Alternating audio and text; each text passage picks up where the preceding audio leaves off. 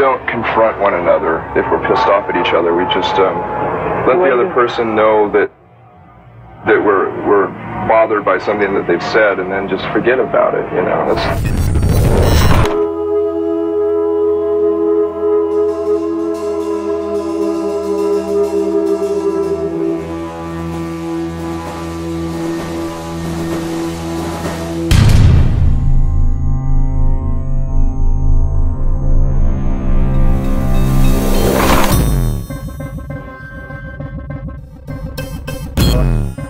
对